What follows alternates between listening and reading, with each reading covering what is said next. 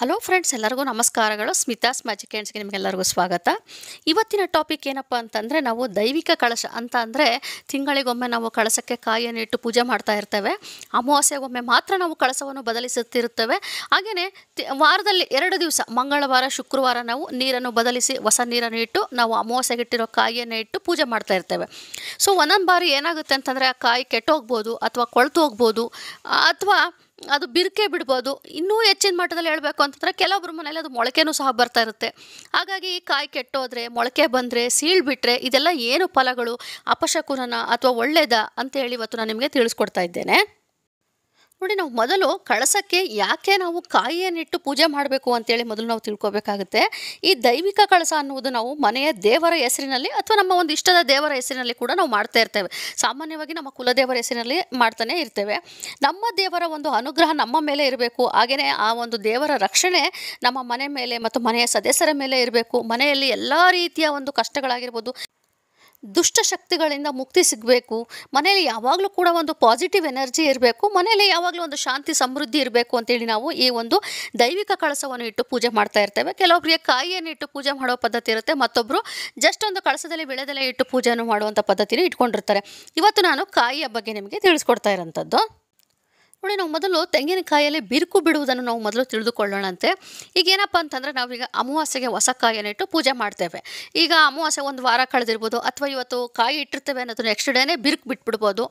ಅದು ನೀವು ಭಯ ಪಡೋದು ಬೇಡ, ಅದು ಅಸ- ಅಸಹಜವಾದದ್ದಲ್ಲ, ಅದು ಸಹಜವಾದದ್ದೇನೆ. ಯಾಕೆ ಅಂತಂದರೆ, ನಾವು ತೆಂಗಿನಕಾಯಿ ಆರಿಸ್ಕೋಬೇಕಾದ್ರೆ ಒಂದು ಸ್ವಲ್ಪ ನಾವು ಗಮನದಲ್ಲಿ ಇಟ್ಕೋಬೇಕಾಗುತ್ತೆ.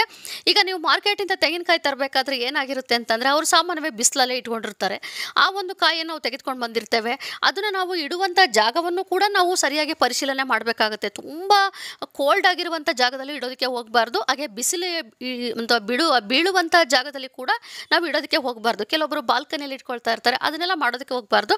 ಆದಷ್ಟು ನಮ್ಮ ಮನೆ ಒಳಗೆ ಸರಿಯಾದ ಒಂದು ಪ್ಲೇಸ್ ನೋಡ್ಕೋಬೇಕು. ತುಂಬ ಬಿಸಿನೇ ಇರಬಾರ್ದು ತುಂಬ ಕೋಲ್ಡ್ ಆಗಿರಬಾರ್ದು. ಆ ರೀತಿಯಾದ ಒಂದು ಪ್ಲೇಸಲ್ಲಿ ಸರಿಯಾಗಿ ಅದನ್ನು ಕವರ್ ಮಾಡಿ ಎತ್ತಿ ಇಟ್ಕೊಂಡಾಗ ಈ ರೀತಿ ಬಿರುಗ್ ಬಿಡೋದಿಲ್ಲ. ಹಾಗೆಯೇ ತೆಂಗಿನಕಾಯಿ ತುಂಬ ಬಲ್ತೋಗ್ಬಿಟ್ಟಿರುತ್ತೆ ನೀವು ನೋಡಿರ್ಬೋದು ತುಂಬ ಬ್ರೌನ್ ಆಗಿರುತ್ತೆ. ಅಂಥ ಕಾಯಿಯನ್ನು ತೆಗೆದುಕೊಂಡು ಬಂದು ನೀವು ಕಳಸಕ್ಕೆ ಇಟ್ಟಿರ್ತೀರಿ. ಆಗ ಏನಾಗುತ್ತೆ ಅಂದರೆ ಅದು ಸಹಜ ಅದು ಅದು ಬಿರುಕು ಬಿಡೋವಂಥದ್ದು. ಆಗಿದ್ದಾಗ ಏನಾಗುತ್ತೆ ಅಂತಂದರೆ ಅದು ಒಂದು ಭಯ ಹುಟ್ಟೆ ಹುಟ್ಟುತ್ತೆ. ಇವತ್ತು ಕಳಸಕ್ಕೆ ಕಾಯಿ ಇಟ್ಟಿರೋಂಥ ಬಿರುಕು ಬಿಟ್ಬಿಡ್ತು, ಏನಪ್ಪ ಮಾಡೋದು ಅಂತೇಳಿ. ಅದಕ್ಕೆ ನೀವು ಭಯ ಪಡೋದು ಬೇಡ.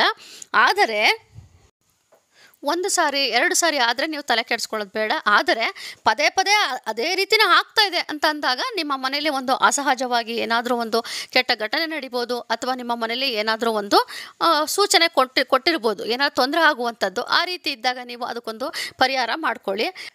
ಅಂದರೆ ಏನು ಪರಿಹಾರ ಮಾಡ್ಕೋಬೋದು ಅಂತಂದರೆ ಮನೇಲಿ ಒಂದು ನವಗ್ರಹ ಶಾಂತಿ ಪೂಜೆ ಮಾಡಿಸೋದು ಅಥವಾ ದೇವಸ್ಥಾನಕ್ಕೆ ಹೋಗಿ ಒಂದು ಪೂಜೆ ಕೊಡಿ, ಈಶ್ವರನ ದೇವಸ್ಥಾನದಲ್ಲಿ ಒಂದು ಪಂಚಾಮೃತ ಅಭಿಷೇಕ ಕೊಡಿ, ಅಷ್ಟು ಮಾಡಿಕೊಂಡಾಗ ಅಷ್ಟೇ ಸಾಕು, ನಿಮ್ಗೆ ಅದು ಸರಿ ಹೋಗುತ್ತೆ. ಹಾಗೆಯೇ ಈಗ ನಾವು ಕಾಯಿ ಬಿರುಕು ಬಿಡೋದಕ್ಕಿಂತ ನಾವು ಏನು ಮಾಡಬೇಕು ಅಂತ ಅಂದರೆ ಕಾಯಿಯನ್ನು ನಾವು ಆಯ್ಕೆ ಮಾಡ್ಕೋಬೇಕಾದ್ರೆ ತುಂಬ ಬಲ್ತಿರಬಾರ್ದು, ತುಂಬ ಎಳೆದು ಆಗಿರಬಾರ್ದು, ಆ ರೀತಿಯಾಗಿ ನೋಡುವಂಥ ನೋಡಿ ತೆಗೆದುಕೊಳ್ಳಿ. ಜೊತೆಯಲ್ಲಿ ಜುಟ್ಟು ಸಮೇತ ಇರುವಂಥನ್ನು ತೆಗೆದುಕೊಳ್ಳಿ. ಆಮೇಲೆ ತೆಂಗಿನಕಾಯಿ ಕಳಸಕ್ಕೆ ಇಡಬೇಕಾದ್ರೆ ತುಂಬ ನಾರನ್ನು ತೆಗೆಯೋದಕ್ಕೆ ಹೋಗಬೇಡಿ.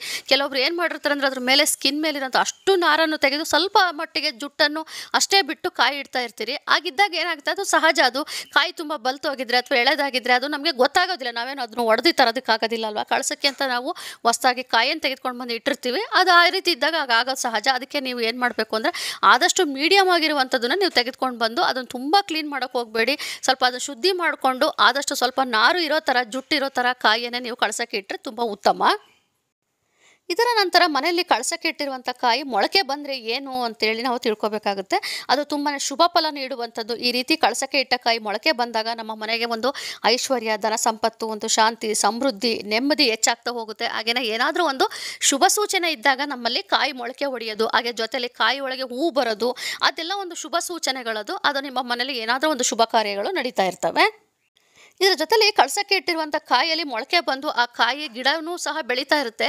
ಅದು ಏನು ಮಾಡಬೇಕು ಅಂತೇಳಿ ನನಗೆ ತುಂಬ ಜನ ವ್ಯೂವರ್ಸ್ ಕೇಳ್ತಾ ಇದ್ರು. ಅದನ್ನು ನಿಮ್ಮ ಮನೇಲಿ ತೋಟ ಇತ್ತು ಅಂತಂದರೆ ನೀವು ತೋಟದಲ್ಲೇ ತೆಗೆದುಕೊಂಡೋಗಿ ಆ ಕಾಯಿಯನ್ನು ನೆಟ್ಟು ನೀವು ಗಿಡ ಬೆಳೆಸ್ಬೋದು. ಅಥವಾ ನಮ್ಮಲ್ಲಿ ಜಾಗ ಇಲ್ಲ ಅಂತ ಅನ್ನೋದಾದರೆ ನೀವು ದೇವಸ್ಥಾನಕ್ಕೆ ಕೊಡ್ಬೋದು ಅಥವಾ ಯಾವುದಾದ್ರು ಮಠಗಳಿಗೆ ತೆಗೆದುಕೊಂಡು ಹೋಗಿ ಕೊಡಿ ಅಥವಾ ನೀವು ಸಾಮಾನ್ಯವಾಗಿ ಪ್ರತಿಯೊಬ್ಬರು ಕೂಡ ವರ್ಷದಲ್ಲಿ ಎರಡು ಸರಿ ನೀವು ಕುಲದೇವರಿಗೆ ಅಂತೇಳಿ ಹೋಗ್ತಾನೆ ಇರ್ತೀರ, ಅಲ್ಲಿ ದೇವಸ್ಥಾನಕ್ಕೆ ತೆಗೆದುಕೊಂಡು ಹೋಗಿ ಕೊಡಿ ಈ ರೀತಿಯಾಗಿ ನೀವು ಆ ಗಿಡವನ್ನು ತೆಗೆದುಕೊಂಡು ಹೋಗಿ ಕೊಡ್ಬೋದು.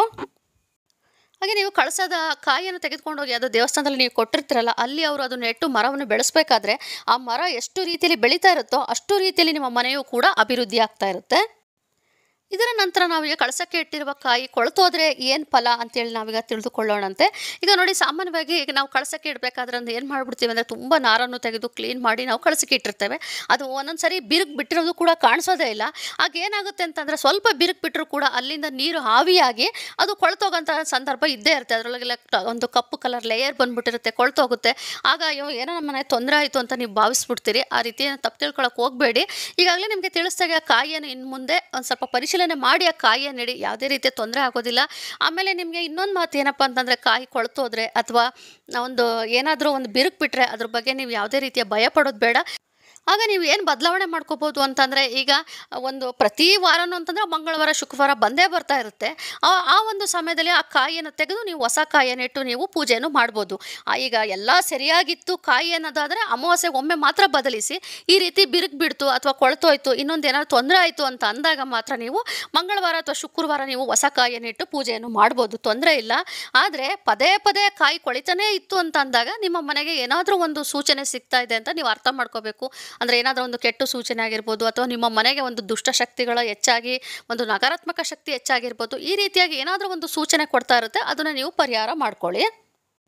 ನೋಡಿದ್ರಲ್ಲ ಫ್ರೆಂಡ್ಸ್ ನಾವು ಕಳಸಕ್ಕೆ ಕಾಯಿಯನ್ನು ಇಡಬೇಕಾದ್ರೆ ಸ್ವಲ್ಪ ಸರಿಯಾಗಿ ಪರಿಶೀಲಿಸಿ ನಾವು ನಾರು ಸ್ವಲ್ಪ ಮಟ್ಟಿಗೆ ಇರುವ ಹಾಗೆ ನಾವು ಕಾಯಿಯನ್ನು ಇಟ್ಟರೆ ಯಾವುದೇ ರೀತಿಯ ತೊಂದರೆ ಆಗೋದಿಲ್ಲ. ಅದರಲ್ಲೂ ಕೂಡ ತೊಂದರೆ ಬಂದರೂ ಕೂಡ ಏನು ನೀವೇನು ಭಯ ಬೇಡ.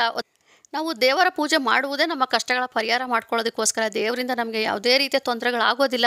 ಆದರೆ ನಾ ಪ್ರತಿಯೊಬ್ಬರು ಮನುಷ್ಯ ಅಂದಮೇಲೆ ಜೀವನದಲ್ಲಿ ಕಷ್ಟ ಸುಖ ಇದ್ದೇ ಇರುತ್ತೆ. ಅದನ್ನು ಒಂದು ನಮ್ಮ ಮನೆಗೆ ಏನಾದರೂ ಒಂದು ಕೆಟ್ಟ ಸೂಚನೆ ಆಗಿರ್ಬೋದು ಒಳ್ಳೆಯ ಸೂಚನೆ ಆಗಿರ್ಬೋದು, ಅದನ್ನು ನಮಗೆ ದೇವರು ಈ ಈ ಒಂದು ಇದ್ರ ಮೂಲಕ ತಿಳಿಸ್ಕೊಡ್ತಾರೆ. ಅದನ್ನು ನಾವು ಅರ್ಥ ಮಾಡ್ಕೊಂಡು ಸರಿ ಮಾಡ್ಕೊಂಡು ಹೋದಾಗ ಖಂಡಿತವಾಗ್ಲೂ ನಮ್ಮ ಮನೆಯು ಕೂಡ ಖುಷಿಯಾಗಿರ್ಬೋದು.